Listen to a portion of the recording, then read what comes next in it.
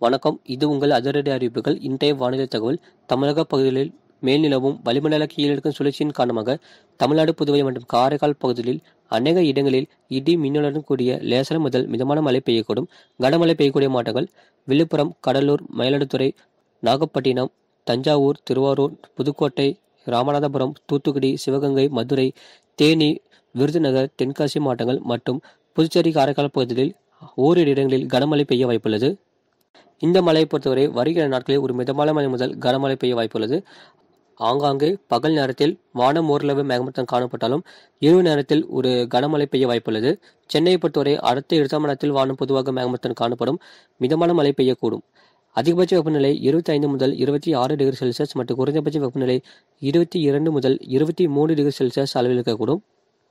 அடுத்த நாற்பத்தி மணி நேரத்திற்கு வானம் பொதுவாக மேகமூட்டம் காணப்பட்டாலும் மிதமான மழை பெய்யக்கூடும். அதிகபட்ச வெப்பநிலை இருபத்தி ஒன்பது முதல் முப்பது டிகிரி செல்சியஸ் மற்றும் குறைந்தபட்ச வெப்பநிலை இருபத்தி நாலு முதல் இருபத்தி ஐந்து டிகிரி செல்சியஸ் அளவிற்கக்கூடும் கடந்த மாவட்டத்தில் பதிவான மழையளவு.